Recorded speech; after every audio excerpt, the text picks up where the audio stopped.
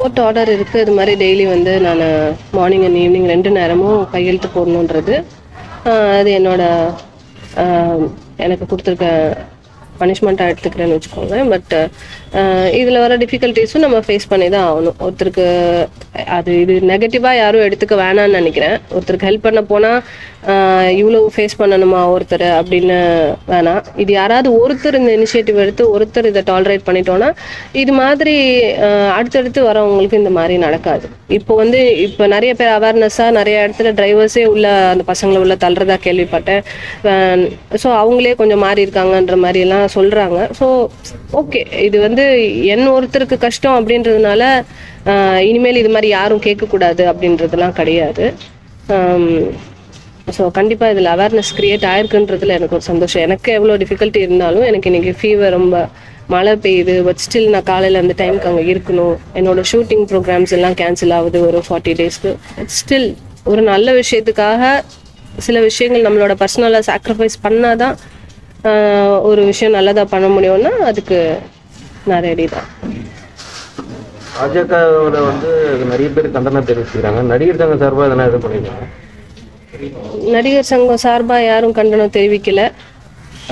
எனக்கு அதில் மன வருத்தமும் இருக்குது கண்டிப்பாக ஏன்னா அதர் ஸ்டேட்டில் இருக்க ஒரு நடிகையை ஒருத்தர் தவறாக பேசிட்டாருன்னதுமே இங்கேருந்து பொங்கி எழுந்த நடிகர் நடிகைகள் நிறைய பேர் பார்க்குறோம் நம்ம ஸ்டேட்டில் ஒருத்தருக்கு ஒரு இஷ்யூ ஒரு நடிகைக்கு ஒரு இஷ்யூ ஒரு நடிகருக்கு ஒரு இஷ்யூ அப்படின்னு சொன்னால் இங்கே இருக்கவங்களுக்காகவும் பேசணுன்றது தான் நினைக்கிறேன். ஏன்னா இது இன்னும் அதுக்கும் மேலே இது ஒரு பப்ளிக் இஷ்யூ இது not my personal issue personal இஷ்யூக்கெல்லாம் பேசுங்கன்னு யாரும் வரமாட்டாங்க.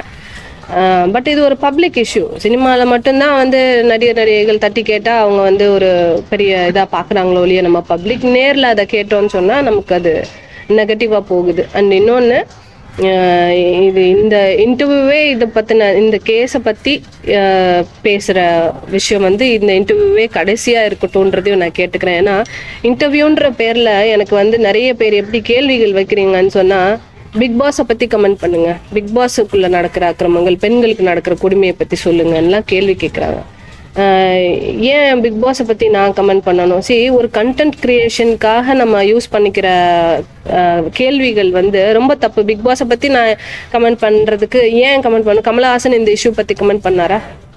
இல்லையே. இதுக்காக குரல் கொடுத்தாரா? இதை பற்றி ச நியாயம் தவறு ஏதாவது சொன்னாரா? இல்லை இதுக்கான ஸ்டெப் ஏதாவது எடுத்திருக்காரா? இல்லை. நான் ஏன் பிக் பாஸுக்கு நான் குரல் கொடுக்கணும் இது கொடுக்கணும்? இது என் வேலை கிடையாது.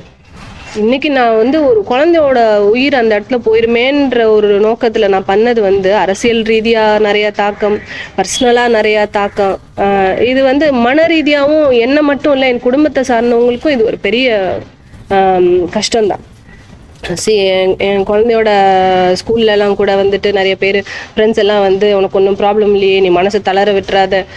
இந்த மாதிரிலாம் பேசுகிறாங்கன்னு வந்து சொல்கிறாங்க மனசு தளர விட்டுறாத நீ வேணா என் வீட்டுக்கு வந்துரு. சி நம்ம எதுவும் தப்பு பண்ணலை. நான் ஒன்றும் ஒரு கஞ்சா கடத்தி கைதானவ கிடையாது. ஸோ இது மாதிரியெல்லாம் விஷயங்கள் ஃபேஸ் பண்ணுறோம் நடிகர் நடிகைகளுக்கும் குழந்தைகள் இருக்காங்க அவங்களுக்கும் குடும்பங்கள் இருக்குது. அவங்களுக்கும் இது மாதிரியான விஷயங்களை ஃபேஸ் பண்ணுறது கஷ்டம். நம்மள மாதிரி அவங்களும் ஹியூமன் பீயிங் தான் அப்படின்றத முதல்ல மீடியாக்களும் உணரணும்னு நினைக்கிறேன்.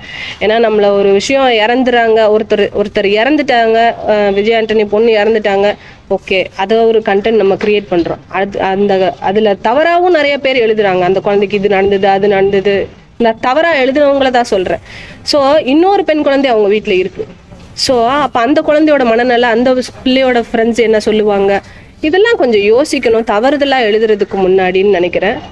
அண்ட் um, என்னை பொறுத்த வரைக்கும் இவங்க வந்து நிற்கல நடிகர் சங்கம் கண்டனம் தெரிவிக்கல. இதெல்லாம் குற்றம் தான். ஒரு நடிகர் சங்கம் நேரம் தெரிவிச்சிருக்கணும். நமக்காக ஒருத்தர் வந்து நிற்கணும் இன்னைக்கு நான் தனியாக தானே இருக்கேன். எனக்கு யாரும் வந்து நடிகர் சங்கமோ இல்லை என் கூட நடிக்கிற சக நடிகர்களோ யாரும் வந்து நிற்கல புரியுதுங்களா? நம்ம ஒரு ஒரு இடத்துல ஒரு இஷ்யூவில் எல்லாரும் ஒருத்தர் இறந்துட்டாங்கன்னா ரிப்புன்னு போட்டுடுறாங்க.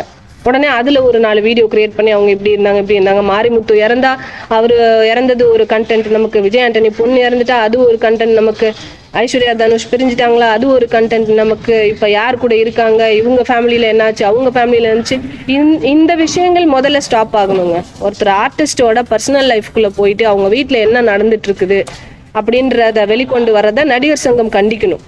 இதை ஆர்டிஸ்ட் ஒவ்வொருத்தரும் இனிஷியேட் பண்ண முடியாது. நாங்கள் எல்லாம் சேர்ந்து இனிஷியேட் பண்ண முடியாது. இது ஆர்டிஸ்ட் ஒவ்வொருத்தரும் சேர்ந்து கண்டிக்கணும். இதுக்கு இதுக்கான ஸ்டெப்பை எடுக்கணுன்றது என்னோட வேண்டுகோள். செய்திகளை உடனுக்குடனும் துல்லியமாகவும் தெரிந்து கொள்ள சப்ஸ்கிரைப் பண்ணுங்கள்